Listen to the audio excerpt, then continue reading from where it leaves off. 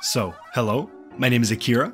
Today I'll be teaching you how to play the simple Shoto and poster boy for the Street Fighter series, Ryu.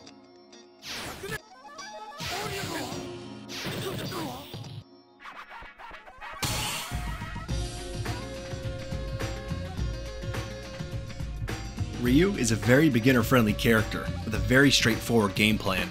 With enough practice, effort, and skill, any set is within your grasp to win.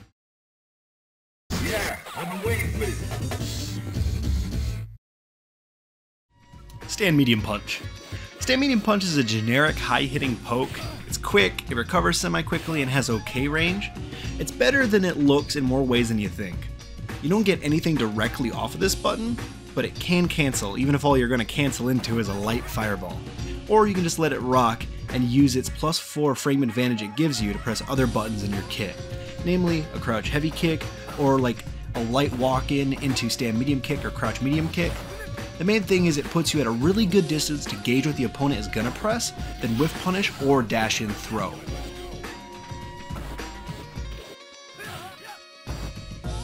Stand medium kick is a solid poke that Ryu has. It can beat some lows depending on the hurtbox interaction, and in my opinion is underutilized. It doesn't lead to anything inherently, but it's a good button to press. Crouch medium punch, the infamous Emperor punch. It's a very good normal at stuffing various buttons due to its disjointed first attacking frame and priority. I cannot go over every single application of this normal and how it interacts with every single character's buttons, but give it a go and feel how it's used mid-match. It's very good as a frame trap button and good at stuffing out attacks before they become active. It shares a very similar range with stand medium punch. Crouch medium kick. To start talking about buttons that Ryu presses, sooner or later I'm gonna have to talk about crouch medium kick. Crouch medium kick is the de facto everything normal within Ryu's kit. It can whiff punish, it can stuff approaches, it can poke, it can catch walkback, and it cancels into everything important that you'd want to cancel into. What you choose to cancel into dictates the risk reward you're willing to play by. Canceling into a heavy fireball is the standard meterless cancel. It shouldn't get you punished outside of extremely fringe case situations and is completely meterless. Alternatively, you can cancel into Light Donkey, which scores you a knockdown and is sometimes harder to punish on block than it looks though I want to stress it is 100% punishable on block.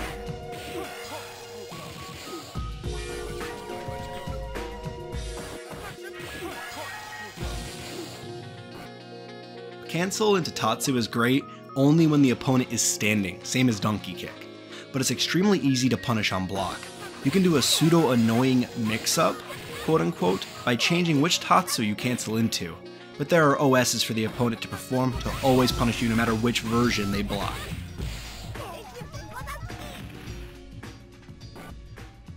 Alternatively, you can always just cancel into EX Hado, which is always safe, scores a knockdown on hit, but it does cost some meter. Crouch Heavy Kick, the classic Shoto sweep. Fast startup, good range, scores a knockdown for some Okizeme, whiff punishes very well, and catches walk in and walk away. It's a very good button, but minus 13 on block. Some characters can punish you every time for this. Some characters have a harder time without resources, and some characters can't get a punish at all if you space it.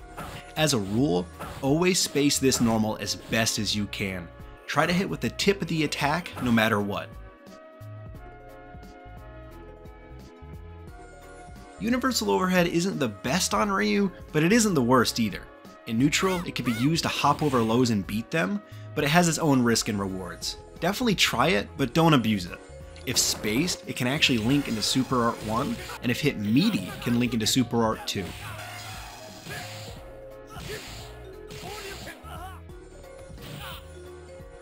Jumping medium kick can be used as a cross-up, it can actually surprise people right outside of Footsie's range. It's not a bad tool, don't abuse it constantly obviously, but even on block it can be around plus 3, and at worst around plus 1. So even if you don't open them up, you can push a hit versus throw mix-up on their block. Jumping heavy punch is your standard jump in normal, which is obviously used to beat fireballs or as a hard read to slower buttons. It can lead to mix-ups on block and combos on hit. Surprisingly enough, you can get a lot of mileage out of abusing neutral jump medium kick. It's not the best and it's not the worst, but it's got solid range and can be really annoying for the opponent to deal with. Not to be abused, but definitely worth trying. I want to say real quick, and I'm not really sure where to put this in the video, so I'll talk about it here, but Ryu's dash is good. Like, really good. It's better than what most people think. At its quickest, it's 14 frames, which is nearly unreactable. You can get a lot of mileage just by placing your dash where it needs to be and doing something like a dash and throw, a dash and crouch light kick confirm, or a dash and parry. It's a very fast tool and great for pressure resets.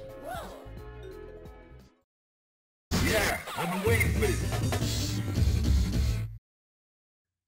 Ryu only has one target combo. Stand heavy punch canceled into stand heavy kick. That's it. It serves a niche purpose as an anti-jump in tool. It's not bad, but it's not really good either. It'll swap people out if they jump in and do a single parry. It's not really unusable, but in my opinion, you're better off using any other anti-air tool in your kit. And with that, let's segue into our next section, anti-airs. Yeah, been waiting for this. Stand Heavy Kick is your standard single hit anti air. It's got a surprisingly good hitbox, but loses to jump in single parry. Next up, we got Crouch Heavy Punch, the old reliable Crouch Heavy Punch Shoto anti air. It's got a very good hitbox for swatting jumpers out of the air, and if done as late as possible, you can actually cancel it into EX Hadoken if they parry, or Shoryu meterless to force them to parry at least twice. You can also just rip straight into super if you want, and while they're caught parrying that, you can add hits while they're stuck in a parry to hit them out of it. 6-3 Punch, the classic Shoryuken anti-air. While parry does exist in Third Strike, it doesn't outright invalidate Shoryu anti-airs. The heavy version reaches very high up, and the EX is outright invincible, along with being at least two hits for them to parry. Alternatively, you can meet them in the air early with your Jump Medium Punch, which has a phenomenal hitbox and hits twice, which can trick people up trying to jump in parry. Jump Heavy Kick also works as an air to air because of its further range, but I highly recommend just using Jump Medium Punch for your air to air needs. Yeah, been waiting for this.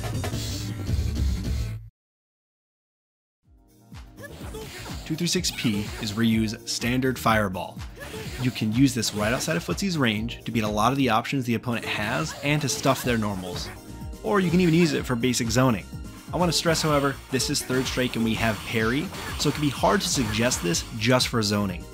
Light moves the slowest, while heavy travels the fastest.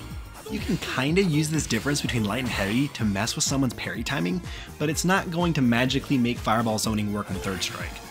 It's a great tool to supplement your neutral, just not be your entire neutral plan. It has a phenomenal safe on block and knockdown on hit EX version. 623P, the Shoryuken. You're namely going to be seeing this as an anti-air or a combo ender. You can see this in its EX form as a reversal for your wake up or as an anti-air option. It can also cancel into SA1 easily if you use the light or medium version. However, in meterless combos, you're going to be seeing the heavy version used for max damage or as a rip into Super Art 2 for a combo that nearly closes out the round on its own. 214 Kick. This is Ryu's forward traveling spin move. It's a great meterless ender after crouch medium kick or after any special cancelable normal. Tatsumaki gives you good Okizeme with the caveat that it whiffs on almost every single croucher in the game, which more or less guarantees you're going to be punished.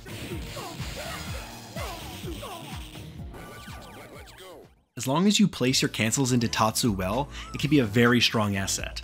I am of the belief that the mark of a really good Ryu main is his ability to place a crouch medium kick Tatsu cancel in areas that he won't get punished for. It's usually placed right where someone will walk in or areas where they're going to walk away from you. The EX version isn't too useful because while it will hit a crouching opponent and is safe on block, EX Hado works from further distances and can even be plus if you're wrong, which is more than worth a menial amount of damage differences between the two. As a side note, regular meterless air Tatsu can actually cross up, which is something it has going for it. 426 Kick, Donkey Kick. Strong, beefy, and rewarding. You can combo into light donkey off your crouch medium kick, and it has similar overlap with your cancels into Tatsu, but where donkey really shines is its cancels into EX donkey off crouch heavy punch and close heavy punch respectively. Doing this gives Ryu some of the best post parry options for the price of an EX move, getting him tons of damage in Okizeme. Yeah, I've been waiting for this. Let's cover supers. When it comes to Ryu, you can actually choose any super art and make them work. Over the years, there's been countless debates over which super is the best for Ryu, and if SA1 and SA2 are even viable when SA3 exists. But I'll be the first to tell you any choice is viable for competitive play.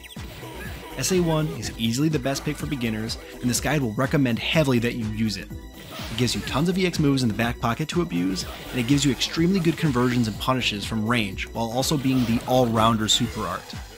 There's no real situation where it's bad, but no situations where it's outright broken.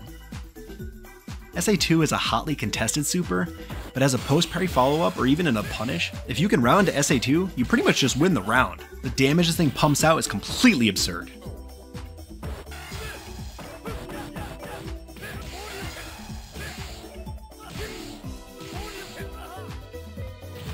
SA3 is a set play super which shines in pressure and off knockdowns, with the caveat that it leaves you with nearly no room for EX moves.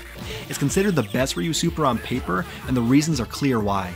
It's an unblockable stun cranking super that you can use to force a 50-50 from almost any hit. However, this guide will show routes and standard uses of all the supers Ryu has, with the stress that you should probably use SA1 first, and if you want, branch out into other supers if you feel inclined.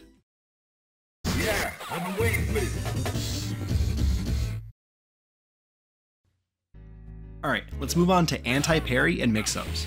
Off most of your knockdowns, you're going to be tasked with running Okizeme, and Ryu has a solid but honest Okizeme. Off throw, Tatsu, Donkey, Shoryu, or a super ender, you can dash in to close the distance and run a set of options that forces your opponents to respond. For a low option, you can cancel crouch light kick into itself for a simple chain that works on every character, and you can also confirm that to SA1 if you have the meter. However, you can use that also to stagger pressure into tick throws. In 3S, because people are so parry hungry, throws can be more effective than you think. Alternatively, you can perform a space crouch medium kick into Hado if you really need a low, or a crouch medium kick into EX Hado to be as safe as possible, while scoring a knockdown if you're correct. For an overhead, Ryu's towards medium punch is among one of the fastest overheads in the game actually, clocking in at just 14 to 15 frames depending on the opponent's crouching height. This is roughly as fast as Dudley's overhead actually, with the main caveat that Ryu cannot convert off this overhead at all without it hitting meaty. The overhead itself cranks stun like a beast as a bonus for lacking any real easy conversions. Throwing is also just good in this game to do. Ryu's forward throw is actually plus enough to always grant you Okizeme, and it loops into itself. Don't be afraid to constantly push this on Okizeme or in pressure. Yeah, I'm waiting for it. If you know for a fact that your opponent wants to parry high, you can do something like a crouch medium kick into Tatsu or Donkey, but it's usually better to do a crouch light kick cancelled into itself and confirm it to something like SA1 or SA2. Alternatively, again, crouch medium kick to Hado or EX Hado is always on the table for safety's sake. If you know for a fact the opponent wants to parry low, stand medium kick and stand medium punch are high parry only, and they have good range to hit an opponent. Alternatively, if you're close enough and they're deciding to parry, a close medium punch is a strong high parry only option that can cancel to a Hado or Shoryu to capitalize on beating their low parry. Preferably, you would cancel into EX Hado for this, uh, for more safety if you want to play more reserved in this area. However, the real bread for beating low parry up close is the godlike close medium kick. If you actually beat an opponent who is parrying low with this move, they will be hit crouching, and this gives you just enough frame advantage due to the crouching hit frame advantage bonus to be able to combo into Super Art 1. While this is a one frame link, we can use pianoing and negative edge techniques to effectively make this a 6 frame link with good execution. The bonus is that this is completely confirmable as well, so even if they block the close medium kick, you're still in range to push mix ups with your buttons due to being plus 2 on block.